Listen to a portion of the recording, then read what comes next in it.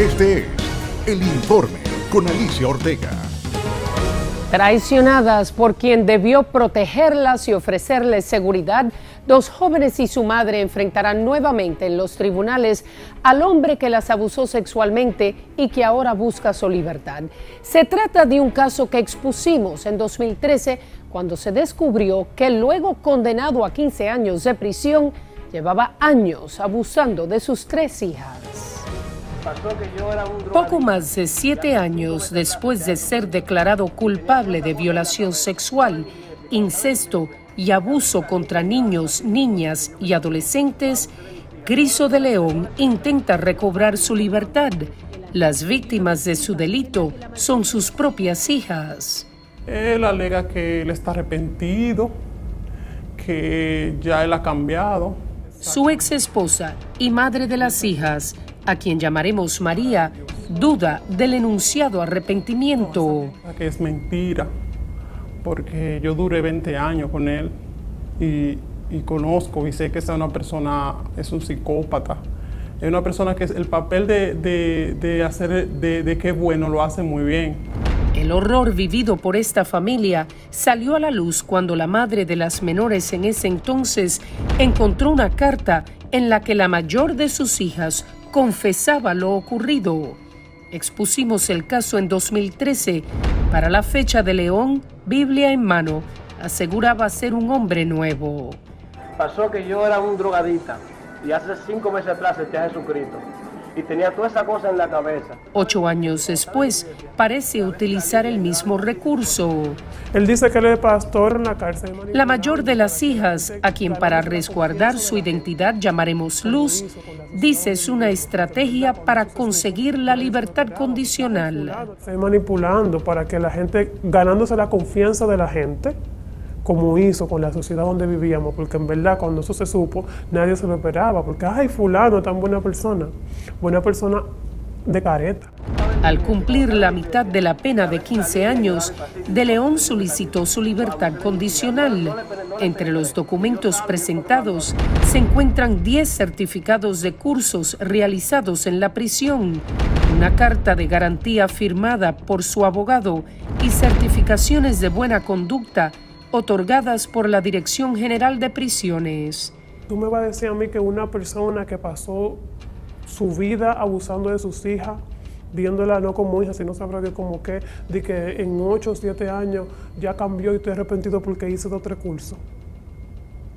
Yo me alegro, qué bueno que hizo curso, aprenda, eso está bien, lo valoro, me alegro mucho, pero eso no justifica el daño que él hizo. Y eso no me da ninguna seguridad que él es pastor, y él estaba yendo a la cárcel y estaba tocando mi manita, a la, a la iglesia, perdón, y tocaba mi manita. Y él tiene una Biblia. ¿Cuál es la diferencia? También presentó una constancia de capacidad para reintegrarse a la vida social, firmada por el psicólogo clínico Héctor Bockhem, y una carta de arrepentimiento en la que pide disculpas a las autoridades, a la sociedad, a sus amigos y familiares y sobre todo a las víctimas y familiares, como si se tratara de particulares y no de sus propias hijas. Y todo lo que él alega en ese papel, que hizo muchísimo curso, eso no vale con el daño que, le, que nos hizo a mí y a mis hijas. Y nosotras, nosotras tememos por la vida, por la vida de nosotros y que a él le den la libertad. La gente cambia pero la gente no cambia de pasión. Y la pasión de mi papá son las niñas. Y en ocho años que él tenga una cárcel comiendo bueno, tranquilito, él no, no, eso no se cambia, la pasión no se cambia. Esos 15 años que, que a él le echaron son pocos para el daño que él le ha ocasionado a mí y a mis hijas. Para María y sus hijas, las secuelas no cesan. Tenemos ocho años en terapia en Pacán, que no le doy las gracias por haber encontrado esa oportunidad y que nos han dado la mano y nos han ayudado muchísimo a mí y a mis hijas. Pese a la asistencia psicológica, asegura no han podido superar el trauma del todo. La menor de las hijas continúa tomando medicamentos. Eh, ha sido muy difícil ver que todos los días tengo que darle una pastilla para poder sobrellevar todas esas cosas que ella lleva por dentro y todavía la psicóloga y, y la psiquiatra, tú sabes, me dicen que todavía ella no está preparada para, porque ella siempre vive, vive triste, siempre me hace preguntas, me dice que el por qué a ella le tuvo que pasar lo que le pasó. Entre 2011 y 2016 se denunciaron 1.603 casos de incesto en la República Dominicana. En los últimos cuatro años, los casos ascendieron a 676. Es un monstruo. ¿Y por qué es un monstruo de eso que la gente tal vez no está acostumbrada a conocer? Porque si tú lo conoces, ay, se ve buena persona. Porque esas personas saben actuar delante de la gente para vender otra cara.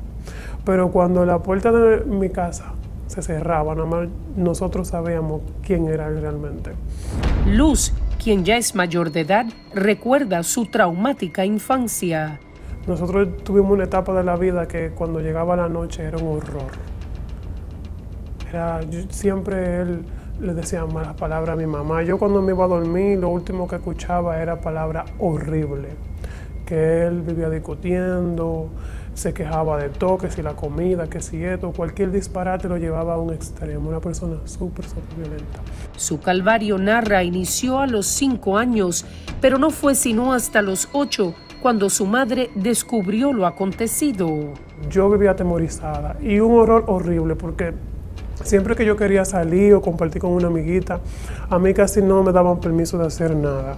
Pero él me decía, si tú quieres ir a tal paseo de la escuela o hacer algo, tienes que dejar que yo te vea.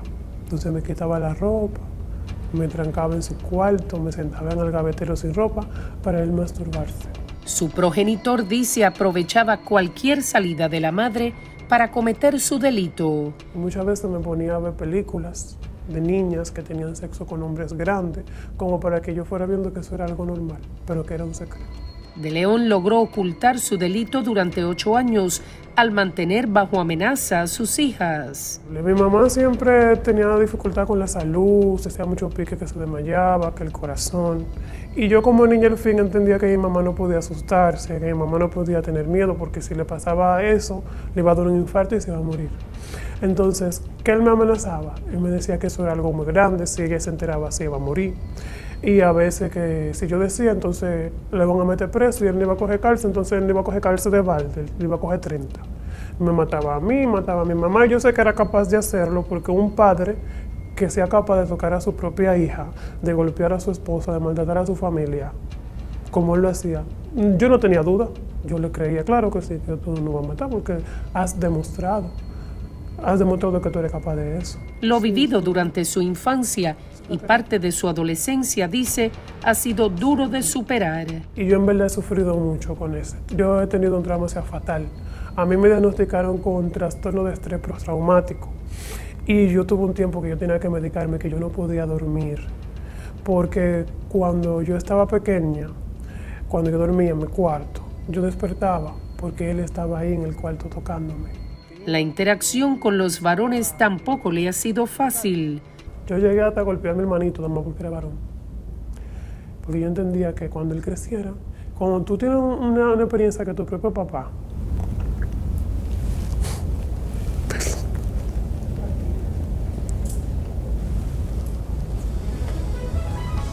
En breve, cuestionan su arrepentimiento por los mensajes que les enviaba desde la cárcel. Para comunicarse con nosotros, escríbanos a elinforme@noticiassin.com o llámenos al teléfono 809-535-8383. Continúe con el informe con Alicia Ortega.